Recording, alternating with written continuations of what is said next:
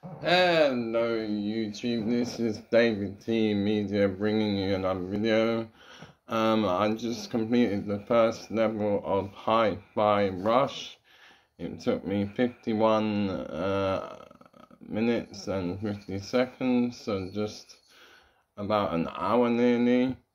Um, it was really good fun. It's the best exclusive of the year so far better than Forspoken.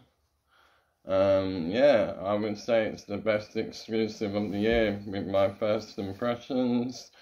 Um, it's basically a guy who goes to some event called Chai, who wants to get a robotic arm put in because he's got a an injured arm and uh, basically becomes a defect and then all of the uh, um, the, the, the, companies start to uh, attack him, and then you have uh, a lot of platforming sections.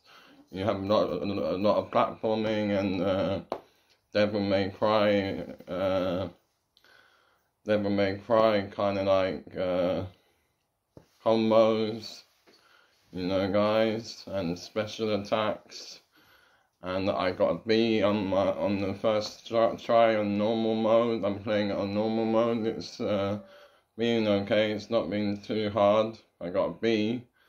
Um, I think normal mode was the right mode for me to put on.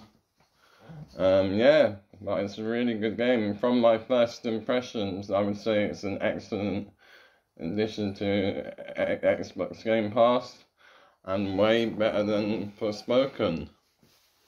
Anyway, I'm not going to give it a number. If, if, if I had to give it a number based on what I've played so far, I'd give it a 7 or 8 out of, out of 10.